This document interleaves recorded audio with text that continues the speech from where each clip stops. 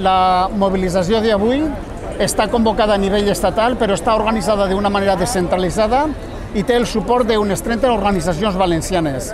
L'objectiu fonamental és demanar dues reivindicacions. Una, la necessitat de que els subministres d'aigua, llum, gas siguen subministres que, tinguen, que disposen totes les famílies, per tant, nos pareix d'una indignitat absoluta i atenta contra els drets humans que n'hi haguen persones que tinguin que viure en aquestes condicions. Per tant, aquesta és la primera reivindicació.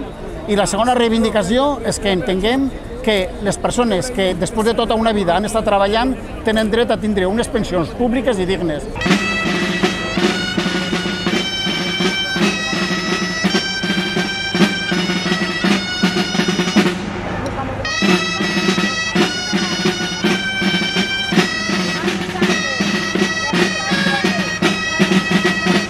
Volem que s'apliqui ja una tarifa social, un preu reduït.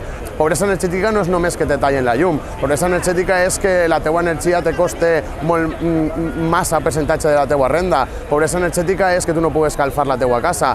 La pobresa energètica es, es manifesta de moltes formes. En una economia de, en una economia de mercat i en una economia liberal, la llei moltes vegades està en funció de l'oferta i la demanda i la llei està en funció moltes vegades dels beneficis.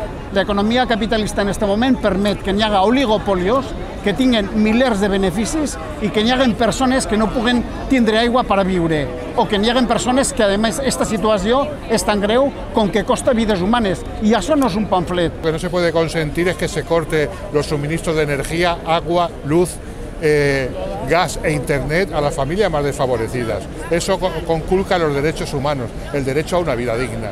Y las medidas que se tomen en ese sentido, todas, todas son bienvenidas y son medidas legales y solo se requiere voluntad política.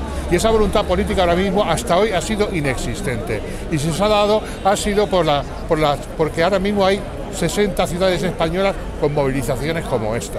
Si no, dudo mucho que Partido Popular y Partido Socialista las hubieran abordado, porque años han tenido para hacerlo.